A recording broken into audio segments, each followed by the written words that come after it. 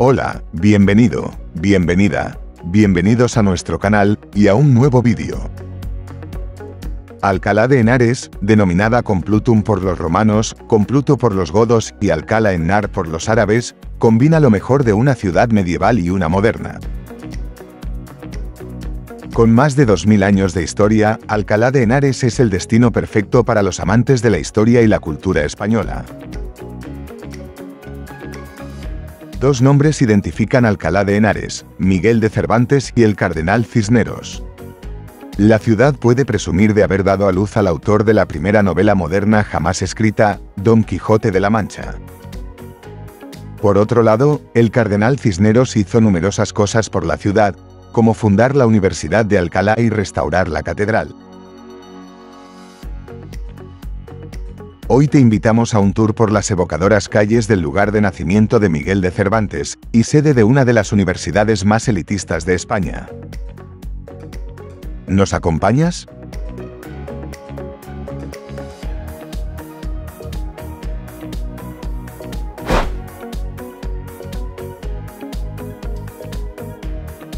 La Plaza de Cervantes es el punto de inicio ideal para cualquier ruta turística por el centro histórico de Alcalá de Henares. La plaza data de la época medieval, posiblemente del siglo XII. En esa época el espacio se situaba fuera de las murallas de la ciudad, y aquí se ubicaba el mercado.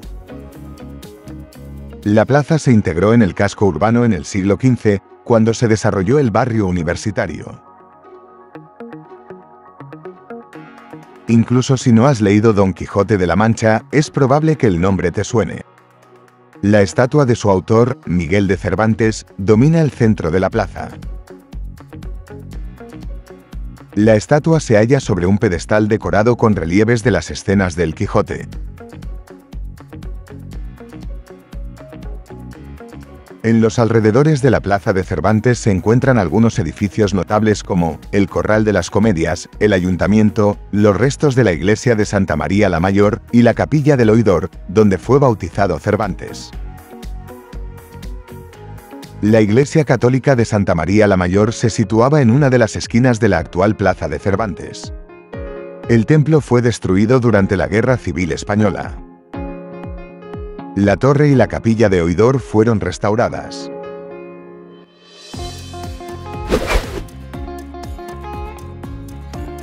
Actualmente la capilla de oidor acoge una oficina de turismo, una sala de exposiciones temporales y el centro de interpretación Cervantes. Aquí fue bautizado el insigne escritor el 9 de octubre de 1547.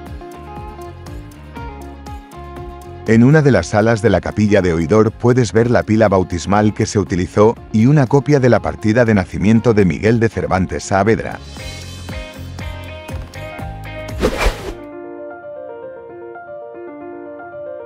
Alejándonos de la Plaza Cervantes nos encontramos con la imponente Universidad de Alcalá.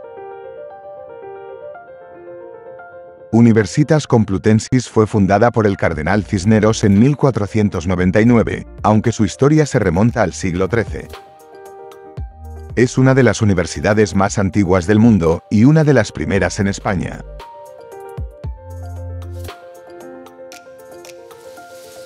El proyecto educativo del cardenal Cisneros era absolutamente novedoso. En él se conciliaban los modelos tradicionales de las universidades de París y Salamanca con los innovadores de Lovaina y Bolonia. Cisneros compró unos terrenos al este de la ciudad de Alcalá, con el fin de dotar de infraestructuras el campus universitario. Los edificios incluían colegios, residencias, cocinas, un hospital, una biblioteca y una imprenta. De este modo, la Universitas Complutensis fue el primer campus universitario del mundo, y sirvió de modelo a toda una serie de universidades en Europa y América. En los siglos XVI y XVII, la Universidad Cisneriana era un gran centro de excelencia académica. Sin embargo, la universidad cerró en 1836 como resultado del proceso de desamortización, y los edificios y las obras de arte fueron mal vendidos. Más tarde, los ciudadanos alcalaínos crearon la Sociedad de Condueños, que recuperó la mayoría de los edificios. En 1977, la Universidad de Alcalá volvió a abrir sus aulas. La fachada de la universidad no es la original. Los edificios originales se construyeron en ladrillo y cal con decoraciones al estilo Cisneros. Este estilo arquitectónico combina el mudéjar, plateresco y el gótico isabelino. Los tres estilos los podemos apreciar en la capilla de San Ildefonso, el edificio más antiguo conservado de la Universitas Complutensis. En el presbiterio se halla el mausoleo del cardenal Cisneros. Sin duda, es una pieza magnífica. Labrada en mármol de Carrara, la pieza es uno de los máximos exponentes de la escultura funeraria renacentista. También es la tumba más cara de España, aunque Francisco Jiménez de Cisneros dejó claro en su testamento que lo entierren en una tumba sencilla. En realidad, aquí vemos el cenotafio. Los restos del cardenal yacen en la catedral de la ciudad. Junto con el centro histórico de la ciudad, la Universidad de Alcalá es patrimonio de la humanidad. Solo cinco universidades en el mundo cuentan con el reconocimiento de la UNESCO.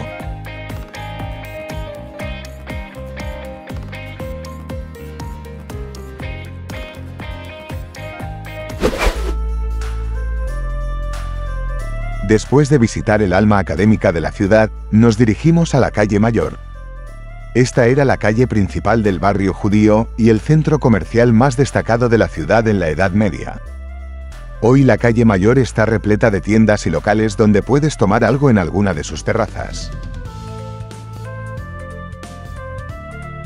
Es la calle columnata más larga que se conserva en Europa. Algo curioso en esta calle es que algunas de sus casas tenían una mirilla sobre la puerta principal. En el número 17 o en el número 32 de la calle Mayor, aún se pueden ver estos rudimentarios porteros automáticos. La gran atracción de la calle Mayor son las esculturas de los personajes de Cervantes, el ingenioso hidalgo Don Quijote de la Mancha y Sancho Panza.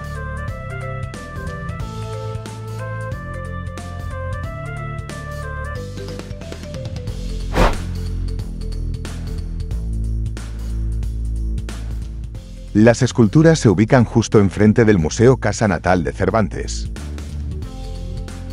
No todos los días puedes entrar a la casa donde nació Miguel de Cervantes, por lo que visitar el Museo Casa Natal de Cervantes es definitivamente una de las mejores cosas que hacer en Alcalá de Henares. Aunque el edificio no es el original, este museo hace un buen trabajo recreando una vivienda medieval de una familia acomodada. Cervantes solo pasó su infancia en Alcalá de Henares, ya que la familia se mudó de Alcalá en sus primeros años de vida. Pasó gran parte de su vida en Valladolid y Madrid. Las exhibiciones incluyen objetos cotidianos y muebles. El museo cuenta también con un fondo bibliográfico de ediciones cervantinas de diversas épocas y en varios idiomas. En España hay unos cuantos museos dedicados a la obra del ilustre literato. Uno de ellos se encuentra en el pintoresco pueblo de El Toboso. Allí puedes ver la edición más grande de Don Quijote de la Mancha. En el canal encuentras un vídeo de la visita al pueblo de Dulcinea de Quijote. Te invitamos a verlo y comentarlo. Gracias.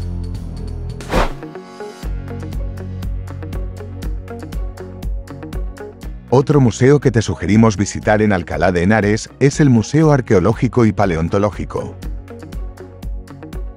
Este museo tiene de todo, desde fósiles paleontológicos hasta reliquias de la Edad del Bronce y mosaicos romanos. El museo merece una visita solo por el edificio.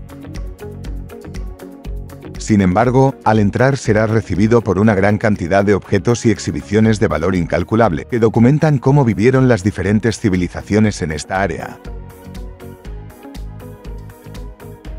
La historia de la ciudad se remonta al período calcolítico. En la Edad de Hierro los celtibéricos construyeron aquí un castro.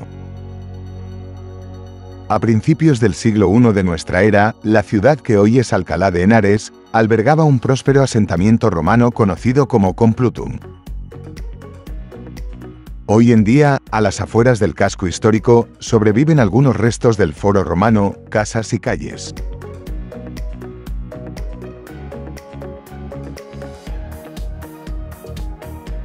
Próximo al Museo Arqueológico y Paleontológico se ubica el Palacio Arzobispal.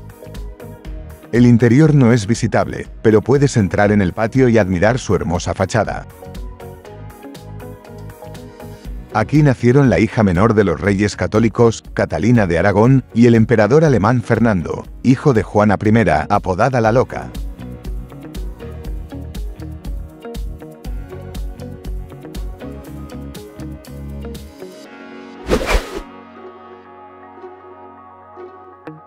Aunque hoy solo una pequeña parte permanece en pie, no dejes de ver la muralla que protegía la ciudad de Alcalá de Henares. De hecho, la ciudad tuvo dos recintos amurallados diferentes, construidos entre el siglo XIII y el XV.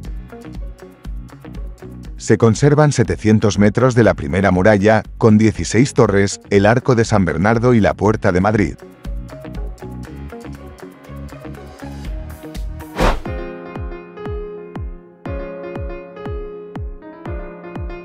Europa está llena de iglesias impresionantes, y para el ojo inexperto muchas pueden empezar a tener el mismo aspecto después de un tiempo.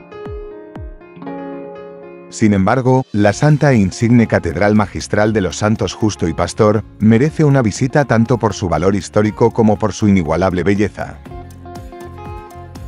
Esta catedral junto con la iglesia de San Pedro de Lobaina, en Bélgica, son los únicos templos que poseen el título de magisterial, lo que significa que todos sus canónigos han de ser obligatoriamente doctores en teología.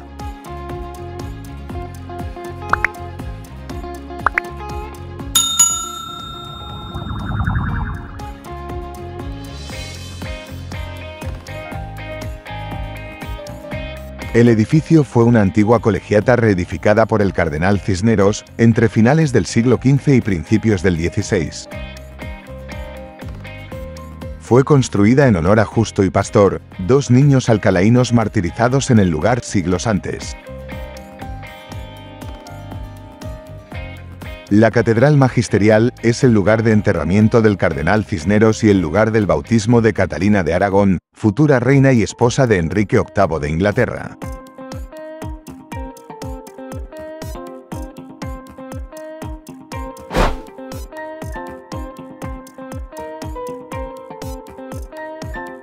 El Palacete de Laredo es un impresionante edificio neomudéjar del siglo XIX que no querrás perderte en Alcalá de Henares. Si crees que sus exteriores son hermosos, espera ver los intrincados detalles de su interior. Es muy probable que te recuerde a la icónica Alhambra de Granada. Su ecléctico estilo neomudéjar combina elementos pompeyanos, góticos, renacentistas y modernistas. Cada sala tiene un diseño ambiental diferente. Todo un espectáculo para la vista.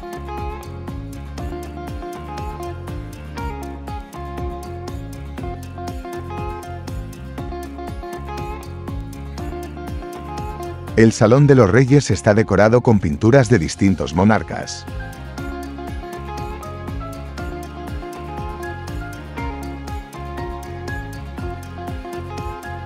Actualmente esta sala se utiliza como sala de conferencias y salón de actos. Originalmente construida como una casa privada, hoy en día el Palacete de Laredo alberga un museo dedicado al fundador de la universidad, el Cardenal Cisneros. Entre sus piezas, destaca la Biblia Políglota Complutense, la primera edición políglota de una Biblia completa. Fue impresa en cuatro idiomas, latín, griego, hebreo y arameo.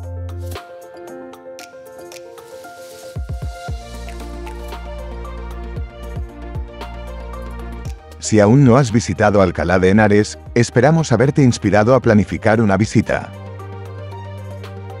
Si te ha gustado el vídeo, dale un like y coméntalo. Y si no te ha gustado, comenta también.